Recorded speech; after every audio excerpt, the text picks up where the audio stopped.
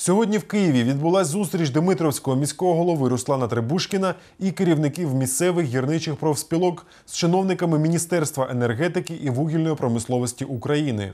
На ній обговорювали питання погашення заборгованості заробітної плати працівникам Красноармійськвугілля та перспективи щодо розвитку підприємства. Телефоном ми дізналися про результати цієї важливої зустрічі.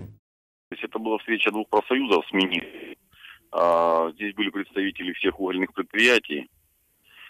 А, Она ну, была представлена вся Украина. Хочу сказать, что вопросы как на Западе, как, так и на Востоке, они практически одинаковые.